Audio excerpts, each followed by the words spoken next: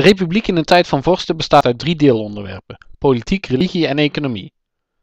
En bij politiek en religie wordt er de hele tijd een vergelijking gemaakt tussen Engeland, Frankrijk en de republiek. Maar uh, op het gebied van de economie is dat eigenlijk niet zo. Dan gaat men alleen maar kijken naar uh, de republiek, de Nederlanden dus. En dat is misschien een beetje een rare keuze van de examenmakers, maar ergens is dat ook wel te verklaren, want juist de grote groei van de economie zorgt ervoor dat uh, die kleine Nederlanden dat die toch kunnen concurreren met uh, grootmachten als Engeland en Frankrijk. Dus het is zeker voor de Nederlanden wel belangrijk om er even op in te gaan. Nou ja, en de basis van uh, die goede economie, die later zal uitmonden in de Gouden Eeuw, die wordt gelegd in de periode 1477-1555. En we zullen nu eens even gaan kijken waarom dat dan precies zo is. Hier zien we de Nederlanden. Uh, twee verschillende kaartjes. Bovenin zie je al waar de meeste mensen wonen in de Nederlanden. Dat is vooral in de, de gewesten Vlaanderen, Brabant en in Holland. Daar zie je ook dat de meeste steden zijn. Uh, de grootste steden daarvan die liggen in het zuiden van de Nederlanden, in Vlaanderen en in Brabant. Maar ook in Holland zie je heel veel wat kleinere steden.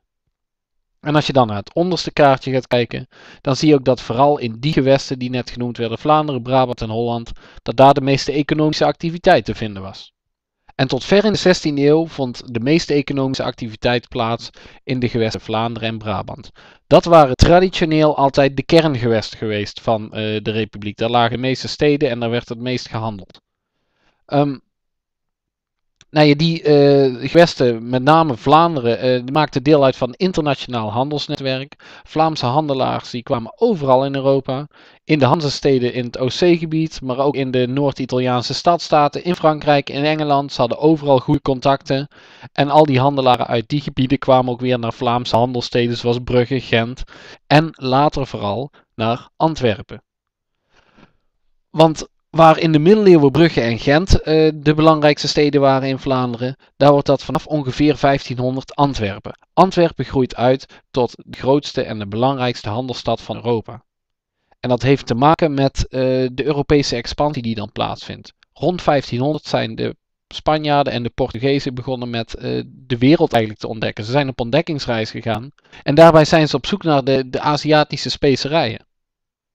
Nou, de Portugezen die slagen er als eerste in om een zeeroute naar Azië te vinden. En zij worden dan ook heel erg rijk van uh, die specerijenhandel. Maar dat komt omdat zij Antwerpen uitkiezen als plaats om hun specerijen aan de rest van Europa te verkopen. Want in Antwerpen konden zij uh, gemakkelijk in contact komen met Duitse handelaren die zilver meebrachten. En daar werden veel specerijen geruild tegen zilver. En doordat de Portugezen Antwerpen uitkiezen als plaats om die specerijen te gaan verhandelen, groeit die stad dus enorm snel. Het wordt een van de grootste steden van Europa. Nu gaan we onze blik even wat meer noordwaarts richten, naar het gewest Holland. In Holland zie je dat er ook een heleboel steden zijn, net zoals in uh, Vlaanderen en Brabant. Sterker nog, in Holland wonen procentueel gezien meer mensen in de stad dan in andere gewesten. Meer dan 45% van de Hollanders woonde in de stad en dat was het hoogste percentage van heel Europa. Nou ja, hoe komt dat? Dat heeft te maken met het feit dat de grond niet heel erg geschikt was uh, voor de landbouw. En dan zie je dus ook dat ze in Holland op zoek moeten naar andere middelen van bestaan. Dat zorgt ervoor dat zaken als de visserij en zeker de haringvisserij, de nijverheid, de scheepvaart en de zeehandel belangrijke middelen van bestaan worden in Holland. En dat is ook niet zo heel gek dat daar de visserij, de scheepvaart en de zeehandel bij zitten. Want ja, Holland is uh, kustgebied, er is heel veel water. Dus men richt de blik niet op het land, maar dus juist op de zee. En in de loop van de tijd groeit Amsterdam uit tot de belangrijkste handelsstad van Holland. Maar nog steeds uh, stelt Amsterdam lang niet zoveel voor uh, rond 1500 als dat Antwerpen dat bijvoorbeeld doet. Oké, blijven even in Holland. Want hoe zit dat dan precies met die vervening van die landbouwgrond zoals het daar staat? Wat is dat precies, vervening? Nou ja, die uh, landbouwgrond in uh, Holland die was eigenlijk veel te drassig om daar graan op te verbouwen. Je zag net al op het vorige kaartje, uh, Holland is omgeven door water. er waren sowieso heel veel meren in het gewest zelf. En de grond is dus simpelweg te nat om daar graan op te verbouwen. En dan heb je toch wel een probleem, want graan is het volksvoedsel nummer 1 in Europa in die tijd. Ja, en dan moet je gaan zoeken naar een oplossing, want zonder graan is er geen voedsel. En dan komt weer de zeehandel om de hoek kijken. Want wat gaan de Hollanders doen? Nou ja, als we zelf geen graan kunnen verbouwen, dan gaan we toch ergens anders halen. En de Hollandse handelaren richtten daarom een blik op het Oostzeegebied. Daar was namelijk eh, graan in overvloed. Dat was relatief dun bevolkt, maar er werd wel heel veel graan gebouwd, zodat het graan daar goedkoop gehaald kon worden. En uh, die graanhandel, uh, die handel met dat Oostzeegebied, die wordt ook wel de moedernegotie genoemd. En het is dik gedrukt, het is weer een begrip. Maar de moedernegotie wil zoveel zeggen als de handel waarvan alle andere handel afhankelijk is. De basis van de handel dus.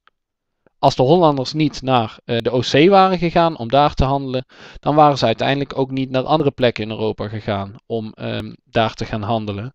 Dus dat maakt uh, de Oostzeehandel tot uh, de basis, tot de moedernegotie. Hoe dat precies zit, daar kom ik in de volgende dia even op terug. We blijven nu even bij de landbouw.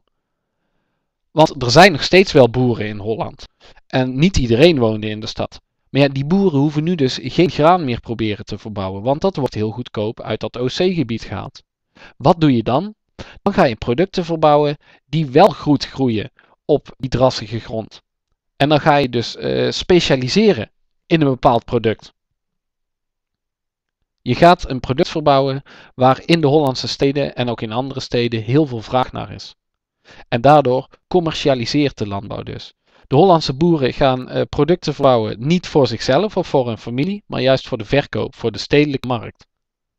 En met het geld dat ze daarmee verdienen, ja, daar kopen ze dus weer hun voedsel van. Daarvan kopen ze dus weer het graan. En de vraag is natuurlijk ook een beetje, waarom kan dat in Holland dan wel en waarom doen andere boeren dat niet?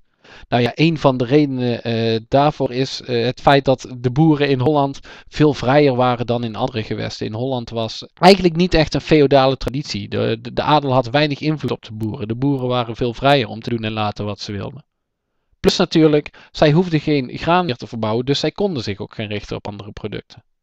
Oké, okay, gaan van de landbouw dus even door naar die handel. En dan blijven we even bij die moedernegotie hangen, die graanhandel met dat OC-gebied.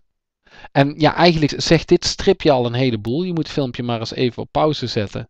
En dan zie je al een beetje hoe uh, de handel zich langzamerhand uitbreidde in Holland. Hoe de Hollanders op steeds meer plekken in Europa kwamen. Uit deze strip blijken een paar dingen. Namelijk dat uh, de Hollanders zelf een heel belangrijk handelsproduct in handen hadden, namelijk haring. Haring was zeker in het noorden van Europa heel belangrijk voedsel. Na graan misschien wel het belangrijkste volksvoedsel. En de Hollanders wisten door uh, de uitvinding van het haringkaken en door de haringbuis um, om meer haring te vangen en die ook beter te kunnen bewaren. Dus daar hadden ze ook meer uh, te handelen. En met die haring konden ze dus naar het OC-gebied, konden ze graan gaan halen. Later gingen ze ook hout uit het OC-gebied halen. En ze haalden zoveel graan uit dat OC-gebied dat ze meer dan genoeg voor zichzelf hadden. En dat graan kon ze dan ook weer doorverkopen aan bijvoorbeeld Spanje, waar ze dat weer hadden tegen zout. Wat ze weer konden ruilen tegen laken in Noord-Frankrijk. En zo werd er een heel uh, handelsnetwerk opgezet. En de handel in Holland groeide dan ook erg snel in de 16e eeuw. Dat zorgt er uiteindelijk voor dat de welvaart in Holland enorm toeneemt. De commerciële landbouw zorgt ervoor dat uh, de boeren heel erg rijk worden. En het handelskapitalisme zorgt ervoor dat uh, de handelaren en alle mensen die verder met die handel te maken hebben, heel erg rijk worden. Even snel het begrip uh, handelskapitalisme. kapitalisme wil dus zeggen dat je probeert zoveel mogelijk winst te maken met je bedrijf. En dat je een gedeelte van die winst weer investeert in je bedrijf, zodat het verder kan groeien. En dat was dus ook precies wat de Hollandse handelaren gingen doen. Iedere keer als ze winst maakten, gebruikten ze die winst niet om ervan te genieten, maar om hun bedrijf verder te laten groeien. En dat is dus handelskapitalisme. Ja, en zo begon Holland dus steeds rijker te worden. En dat was voor eh, keizer Karel V, die we in de andere filmpjes gezien hebben, die nog steeds de landheer was, eh, ook wel interessant. Want dat betekende dat Hollanders heel veel belasting konden betalen. Nou deden de Hollanders dat natuurlijk niet graag, maar zij wisten er wel iets voor terug te krijgen. Oké, wij willen best veel belasting betalen, maar dan willen wij ook zoveel mogelijk vasthouden aan onze eigen regels en wetten en onze eigen privileges. Wij willen onze autonomie, ons zelfbestuur dus zoveel mogelijk behouden. En Karel V vond dat prima, omdat hij zo gegarandeerd was van een hoge belastingopbrengst uit Holland. Nou ja, en op deze manier wordt dus de basis gelegd voor de Gouden Eeuw die we later tegen zullen gaan komen.